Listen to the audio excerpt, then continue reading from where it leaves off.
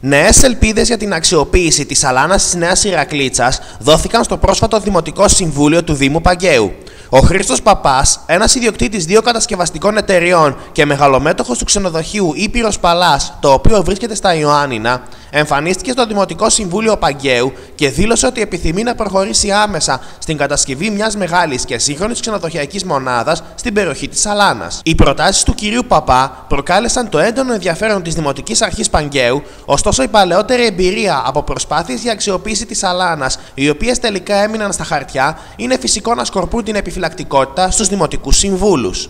Ε, υπάρχει μια εκδήλωση ενδιαφέροντος, θα χαρώ ιδιαίτερα να προχωρήσει γιατί όλοι θέλουμε εκεί επιτέλους,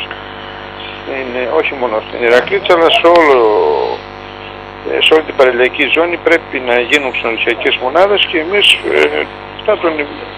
στηρίξουμε όσο μπορούμε. Μακάρι, εγώ ε, δεν μπορώ να πω τώρα κάτι, ούτε θέλω να πω άσχο μαύρο, θέλω να πω όμως ότι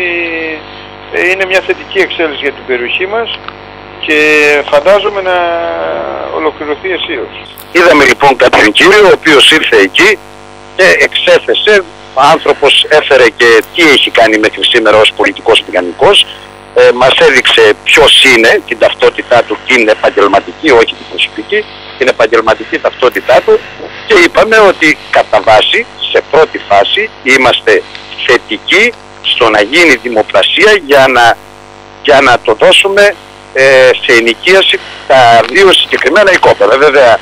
ε, ο χρόνος της ενοικίασης θα είναι σίγουρα πολύ μεγάλος γιατί πρόκειται για μια επένδυση η οποία και χρόνο χρειάζεται αλλά και μετά για την απόσβεση απαιτείται ακόμη περισσότερος χρόνος. Ε, βέβαια είπαμε ότι είμαστε θετικοί υπό την προϋπόθεση πριν προχωρήσουμε σε οποιαδήποτε διαδικασία να έχουμε κάποιους όρους και κάποιες δεσμεύσεις από τον επενδυτή όσον αφορά τα έσοδα του Δήμου και την αξιοποίηση της περιοχής με τον καλύτερο δυνατό τρόπο ώστε να προσελκύσει τουριστικά η περιοχή.